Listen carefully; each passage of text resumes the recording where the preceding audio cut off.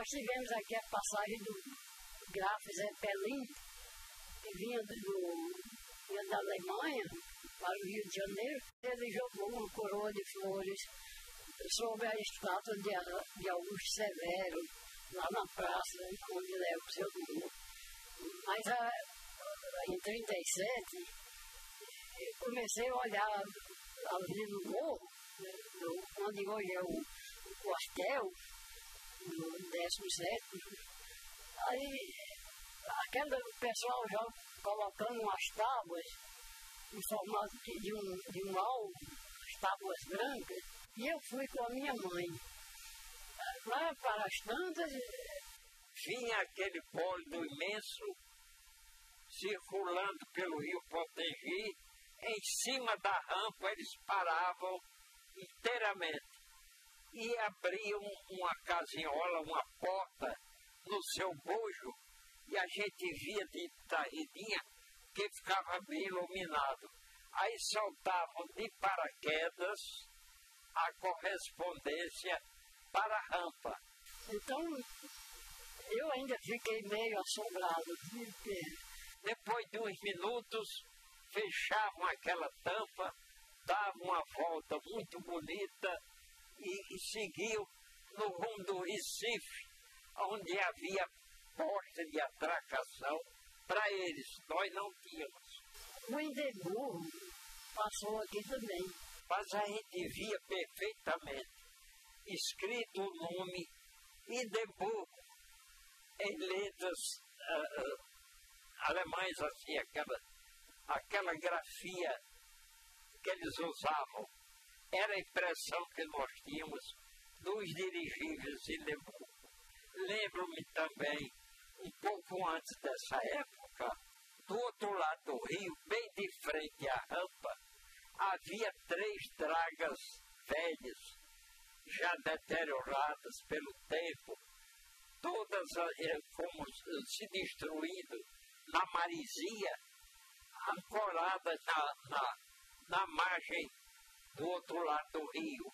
Pois bem, numa noite, um, das, um dos aviões anfíbios da Condor, ao levantar voo para a sua função, foi feliz no, na, na elevação e tocou na, nas dragas velhas e se espatifou, matando os três que depois nós presenciamos pela Rio Branco o cortejo dos três corpos no rumo do cemitério do Alecrim, que era então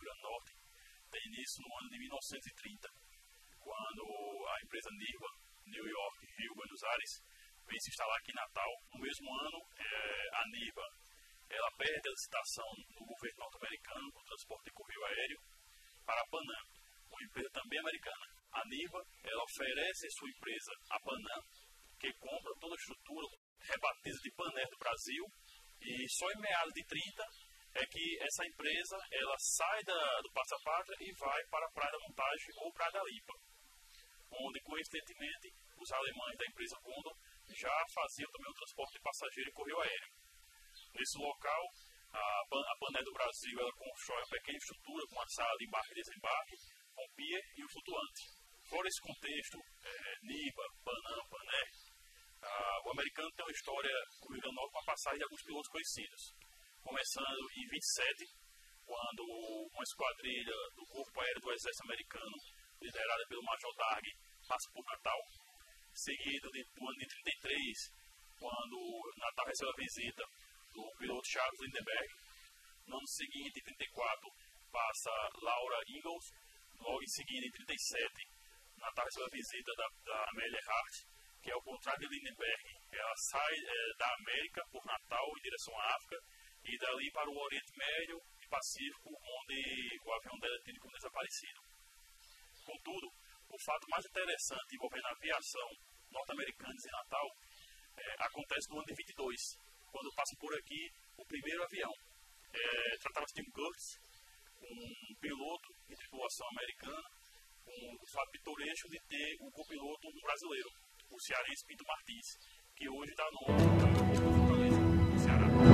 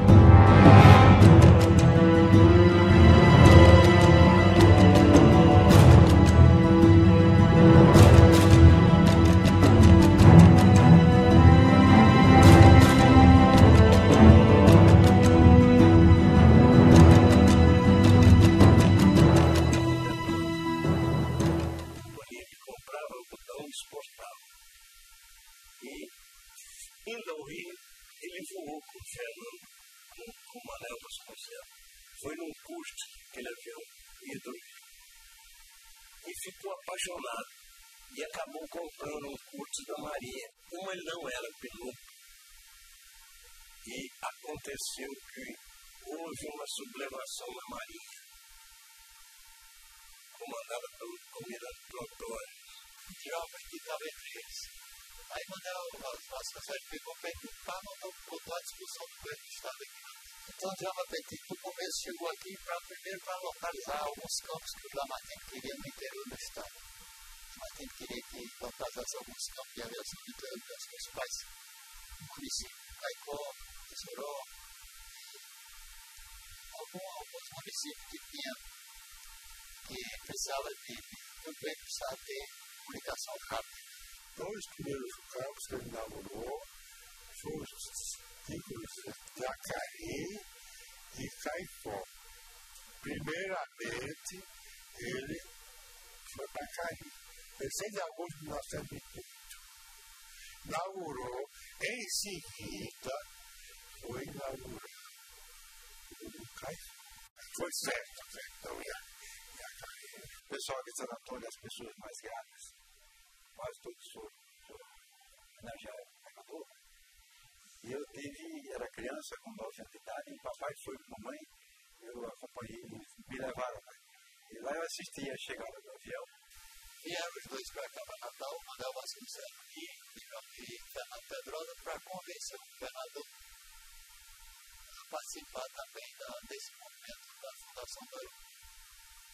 Para o governador era, era o mais aéreo que havia, porque durante o tempo que ele era governador do estado, ele vivia viajando no avião da Latecoera aqui dentro do estado e mesmo para o Rio de Janeiro. Ele vivia voando com o pessoal. Ele, ele, ele era altamente voltado para a aviação. Canal Martins. O entendimento entre os três não durou nada, meia hora já estava vencido. Lamartine tomou conta da parte financeira. O Manuel Vasconcelos legalizava as coisas lá no Rio e Fernando Pedrosa agilizava aqui o aeroclube aqui de Montreal. Então esse, esse, esse trio juntaram as forças e quando foi no dia 28 de novembro de 28, fundaram o. Aquele prédio que hoje é Sete Artur, era casa de veraneio do Alberto Maranhão. O Alberto Maranhão era tio de Fernando Pedroso. E eles conseguiram comprar casa e terreno. E competir e fizeram a pista ao lado. E fizeram um hangar. O Manuel Vasconcelos esteve na fábrica Blackburn e viu lá um avião chamado Blackburn Bluebird. E o Fernando, compra esse avião, porque e Fernando Pedrosa comprou dois. Então era o Clube do Rio Grande do Norte. Isso é muito importante. Foi, o primeiro era o clube do Brasil a ter instrutor, avião, campo de pouso e hangar próprios. Porque o Aeroclube de São Paulo o Aeroclube do Rio eram mais antigos, mas funcionavam com escolas contratadas na Itália e na Inglaterra. Os aviões não eram deles e os instrutores não eram brasileiros. O Aeroclube do Rio Grande foi o primeiro a ter tudo mão. No dia da inauguração, os aviões chegaram aqui uma festa aqui nesse ocupou, e nós temos fotografia desse, né, evento. E o APT organizou as turmas. Ele é um tipo baixo, magro, né, magrinho, é assim, uma cara de, de, de sofrimento, uma cara de sofrimento. Agora é mais, é irmão, igual a todo jeito. O Pet, o Pet era meio errado, escovar assim, meio errado. primeira turma era Fernando Pedrosa, era Aldo Cariello, era o italiano Chiaviti, era Eloy Caldas, era o pai da Dorian Gray, era Primo Saraiva, que o Sou Fernando Silveira, Fernando Silveira foi diretor do Aeroclube era Otávio Lamartine, que era meu tio, meu pai, filho do governador e Edgar Dantas, que era sobrinho da mulher do cara. Edgar, ele era louco por aviação. A prefeitura de Natal tinha direito de indicar um candidato e de pagar. Né? E Omar perguntou aos dois cunhados, o Malgrede era cunhado e papai, qual seria o candidato dele, quem, se seria Osório ou se seria Edgar. E eles tiraram na sorte no Osório. Caiu a sorte de ser Edgar. Quando Edgar decolou, e já foi logo fazendo uma subida em América do. Então ele faz uma curva perigosa e cai. E cai em cima de um curral e, é, e falece imediatamente o corpo traspassado por uma estaca. Foi desse jeito. Foi um trauma imenso dentro de Natal, uma situação insólita no Rio Grande do Norte, no Nordeste do Brasil, e nunca tinha havido um acidente aeronáutico na frente de toda a sociedade de Natal, uma pessoa que era jornalista diário, presente na sociedade. Quando a Revolução arrebentou, João Petit pegou o do avião que restava, porque o João ele ligado a ter caído com ia estragar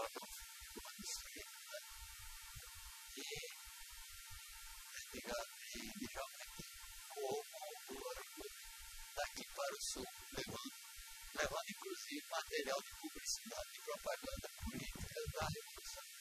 Soltou João Pessoa, soltou em Recife e foi reforma, sem mais outro